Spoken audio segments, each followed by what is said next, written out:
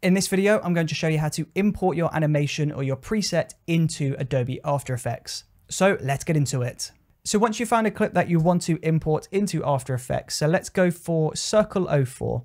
We'll select that and then we'll just press import.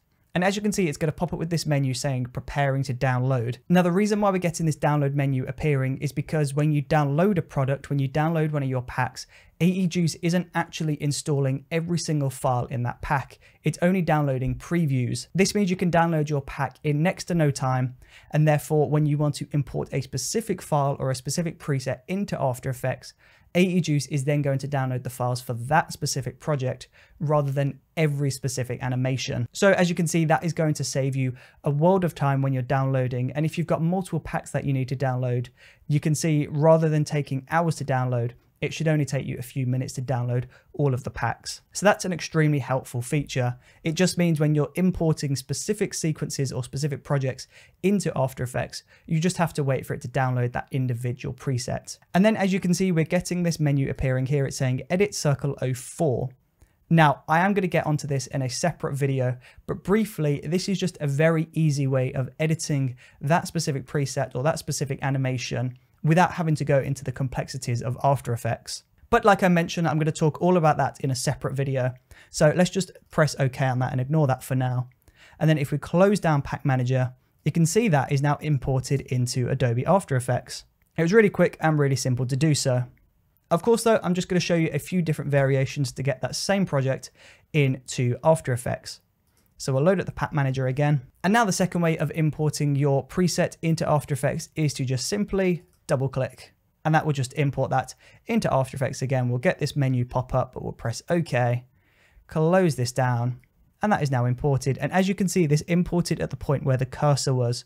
So if I delete that, load up AE Juice again, if I double click again, you can see it's going to import at this point on the cursor. It's very handy. Now, as well as pressing import or double clicking, you also do have the option of just dragging and dropping this into your composition. Now, you won't really see it working on this full screen transition, so let me find something a bit smaller. So I'm just going to go into this starter pack, and as you can see, we've got all of these smaller icons that we can import into After Effects. So let's go for something a bit smaller.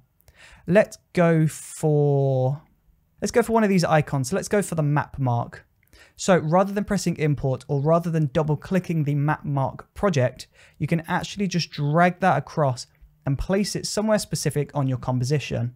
Now again, this is just going to download, so that might take just a brief moment to download. So as you can see, we've got this edit map mark window pop up again. This is our simple editor, but we'll just press OK on that and close down AE Juice. And as you can see, it's imported one at the point where the playhead was, but then it's also imported over here where I dragged that into the composition. Now, the great thing about this is I can just drag this wherever I like, and I can just change the scale, position, do what I want with this but we'll just go ahead and delete that. And the next way to import this is to import and replace. So if we right click, it comes up with import and replace. So at the top, you've got import. So if you press import, that's just going to download that and import it into After Effects. As you can see, if we pull this out of the way, it's imported just there. So let me just drag this to the very beginning. And there you go, you can see we've got that transition imported into After Effects. But let's keep our cursor at the beginning and we'll drag this over. And now let's go to Basic Transition 3. We'll right click and instead of pressing import, we'll press import and replace. And that is going to download that preset, that transition preset, and import that into our After Effects composition and replace the other preset that we had.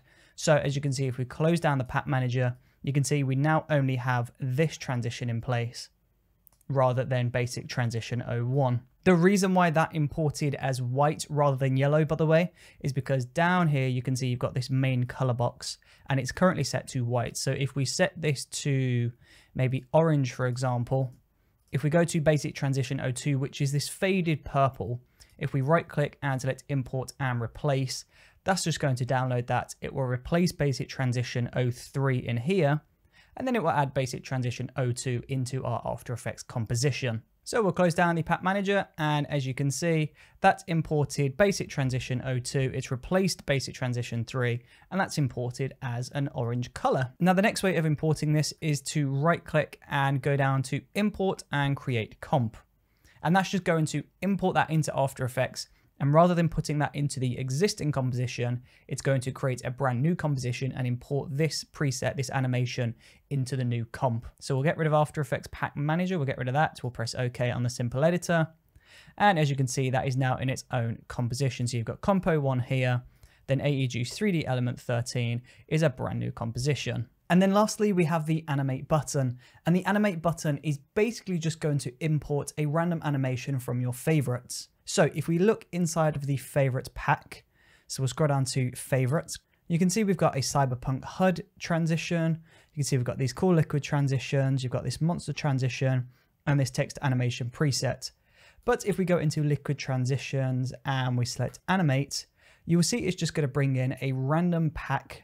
So you can see it has loaded up the simple editor. So I'm just going to press OK on this. We'll close down AE Juice Pack Manager and if I zoom in on this and play this back, you can see we have this random basic transition now imported. And that's been imported because we selected the animate button. So if I just go back into the pack manager, so AE Juice pack manager 4, you can see if we go into that favorites tab, you can see these are all the ones that I have selected. So it looks like it has imported basic transition 09 and there you go, basic transition 09. So it's imported a random animation from that liquid transitions pack that we have favorited. So this means if you can't quite decide which transition or which animation you want to import, if you press the animate button, then it will make that decision for you. Now, when you download a pack from the AE Juice Pack Manager, AE Juice is only going to download preview files. This means it's going to download faster and you won't have to wait hours for everything to download. But the problem is when you're doing it that way, as we've seen so far, is let's go into Neon Glitch Shapes. Now, as you could imagine, there's probably quite a few files required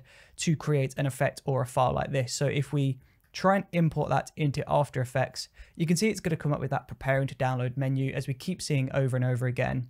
And if you know you're going to be using loads of files within this pack, then you may as well just download everything required beforehand rather than having to wait for this download option. Now, as you can see down in the free packs, I've got slides. This one hasn't been downloaded yet. So I'm just going to download that one. And as you can see, After Effects and AE Juice is just going to download that. But once that has been downloaded, you can actually just right click on a pack. So right click on this pack here and you can press this download button. And as you can see, this is going to give us a green download bar rather than a red download bar. This means every single individual file is going to be downloaded all at once within this pack. And this means when we right click and press import, it's just going to go straight into After Effects and the simple edit window is going to pop up because we didn't have to wait for it to download. It's already been downloaded. And there you go. Those are a few different ways of how you can import your files into After Effects from the AE Juice Pack Manager.